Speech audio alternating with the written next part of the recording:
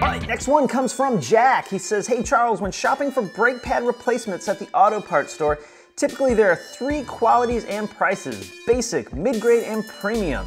My question, of course, is it really worth shelling out for top quality in an otherwise daily driver, or do the premium pads pay for themselves in the long run? I always like to ask, what do you do on your Passat and why?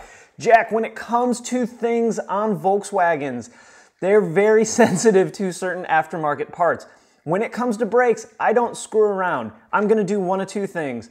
I'm gonna do factory pads and factory rotors, or I'm going to do a brake upgrade, which would probably involve just upgrading to a different factory pad and factory rotor. For my car, my B5.5 would be something more like maybe W8 brakes or into, uh, into the Audi brakes.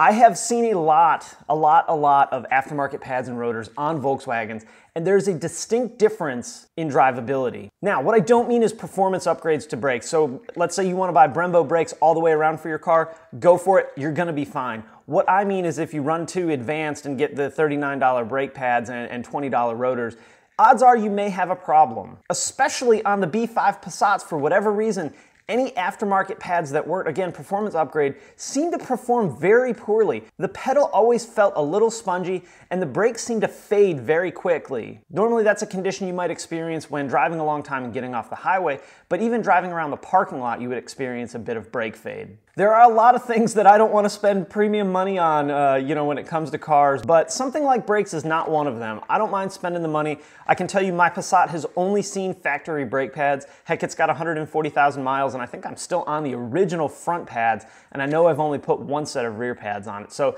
as far as longevity, they last a long time. So for me, I know it's expensive, but factory pads and rotors all the way on Volkswagens.